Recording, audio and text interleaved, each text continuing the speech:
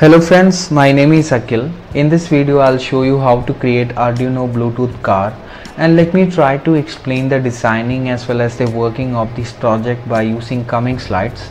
So in this slide you can see the block diagram what we are going to use for this project and let me try to explain the blocks one by one. So the first block is the Bluetooth module which is mainly responsible for establishing the connection between our Android mobile phone and the circuit what we are going to use. The second block is our Arduino Uno which is the central processing unit for this project and it will be controlling and coordinating all the other blocks that is present on our circuit.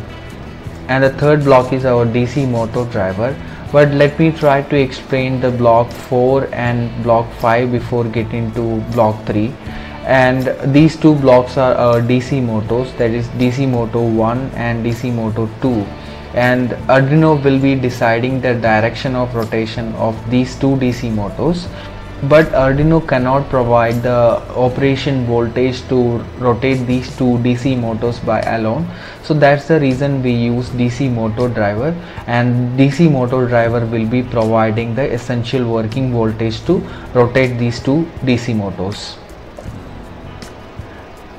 Let me talk little bit about the Android application that we are going to use for this project so this application can be downloaded from the android play store and i'll tell you how it can be downloaded in the later session.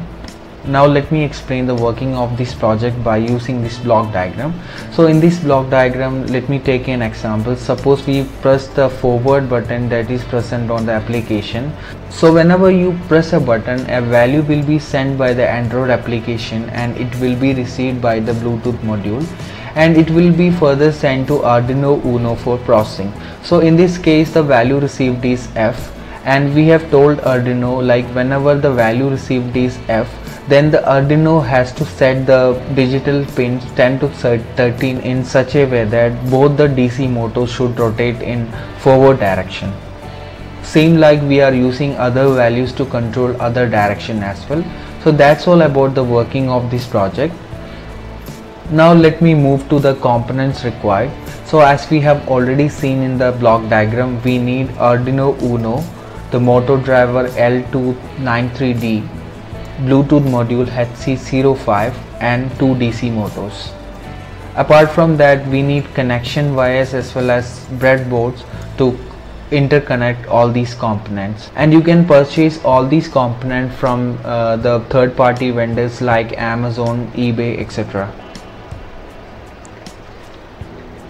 now let me move to the circuit diagram. I'm not going to explain each and every part in order to shorten the length of this video but of course i'm going to cover the major parts. Uh, so in this uh, circuit diagram you can see the transmit pin of the bluetooth module is connected with the receive pin of arduino uno.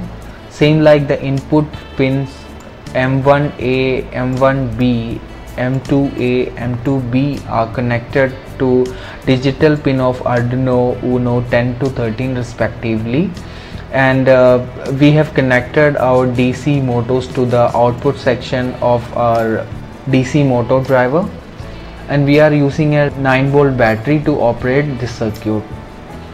So let me try to explain the codes what I am going to use for this project.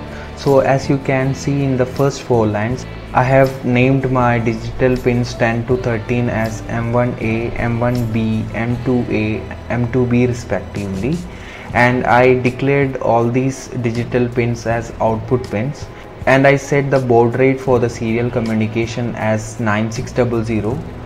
Let me explain the loop. So whenever the serial port of Arduino receives a value which is greater than 0 then that value will be stored and action will be taken according to the value received. Suppose if the value received is F then the digital pins of Arduino will set in such a way that the motors will start rotating in forward direction. Same like if the value received is B then the motor motors will start in backward direction.